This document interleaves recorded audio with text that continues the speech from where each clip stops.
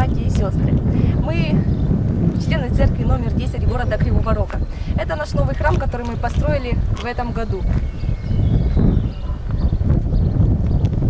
Сейчас мы с вами поднимемся в зал, там, где у нас проходит сегодняшнее субботнее богослужение. Э, Пожалуйста, сестра Рая. Что у нас делать?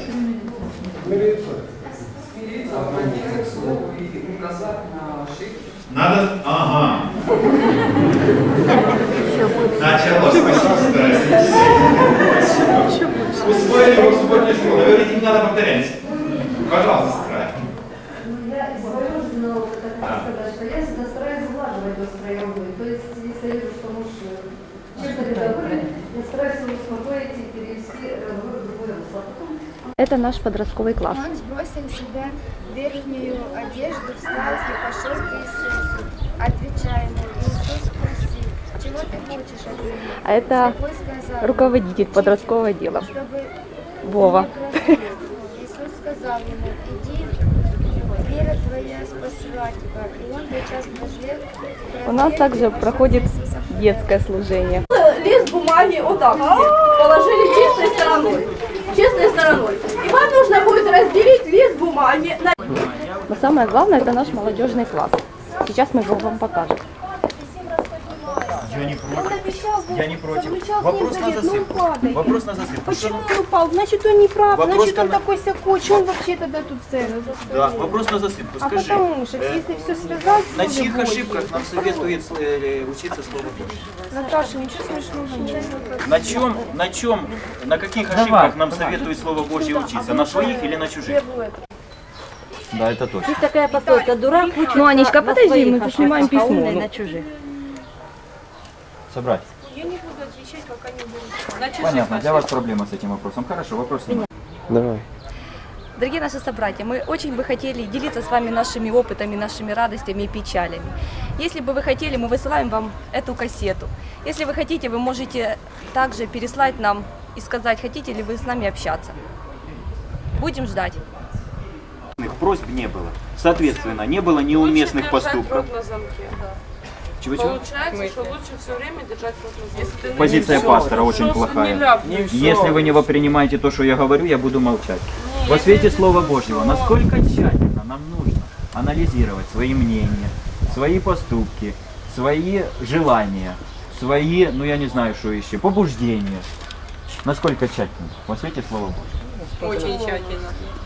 Притом не так поверхностно. Скажите, ученики, они считали, что они уместно просят? Они считали уместно. А скажите, они Слово Божье знали? знали. Точно знали. Они, они сходили с ним в три года. Три года ходили. И Христос им постоянно говорил, Сыну человеческому должно пострадать. Они знали, они знали то, что... И Они вас просто будут думали о другом. Они думали о земном. Так вот, собратья, Так вы они они анализировали просто- свои побуждения во Нет. свете Слова Божьего? Да или нет? Они, Да или нет? Нет, Они считали эту просьбу уместной. они считали уместно. Они это, они считали, что... э, Странно вы как-то отвечаете. Вот я вам обращу, извините, на это внимание. Анализировали или нет? Тут можно ответить да по своим мнениям. Анализировали. А, по-человечески. Да, по Божьему нет. Так ты подожди, ты говоришь по Божьему. Стоп, собратья. Нет. Вопрос на засыпку. Они говорили правду или неправду? Неправду было. Своих мировосприятий. Своих мировоззрениях правда. Ой, собратья, ой, собратья. Так вот, насколько тщательно нужно анализировать свои эти? Очень тщательно. Очень тщательно. Очень тщательно. И мы так и делаем. Не всегда. Свои ответы мы тоже очень тщательно Не анализируем. всегда. Мы надо в зависимости Анализируем. Так вот, понятно, что я задавал вопрос насчет того, говорили они правду или неправду. И хотел разобраться в том, говорили же неправду или не говорили правду. Или все-таки не понятно. Потому что, понимаете, вы меня обвиняете в, в, в- в определенном этом. Я задаю неуместные вопросы. Скажите, мы люди мыслящие или не мыслящие? Мыслящие. Точно. Ну, по, по- по идее. Не, на тот, который задал я. Им, в принципе, в урочнике подразумевается. Я просто не пойму, чего. Я, например, вообще еще на нем зациклилась. Ну, все понятно. Точно все понятно? Они говорили правду или неправду? Нет. Неправду. Хотя потом они страдали за Христа. А Христос на них сказал правду. І потім вони поняли, що вони говорили правду, в принципі. Ну вони її неправильно понимали. Це знаєте, як Петр. Що він сказав? Та, дійсно, ти син Божий, правда ж? Син Божий. А ви просто засипку, він це осознавав? Ні. Він сказав правду? Правда. Еще и за своих учеников, Він мнение. сказав правду. Ну для нього це правда, і поки ще не став. Вот. Что-то не так? Я до вас причепився? доказать. Я до вас причепився? Нет. Что и требовалось. Я до вас причепився? Точно? Чтобы у вас потом не осталось такого Они сказали укорененного неправду, мнения. которая впоследствии оказалась правдой. Но Христос о них сказал правду. А еще Он Христа сказал, будете.